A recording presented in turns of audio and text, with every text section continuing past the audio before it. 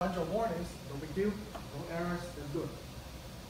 So if you check the pin assignments, uh, they should be input outputs identified, which is good. So these pins remain the same. Alright, so I'll wait for you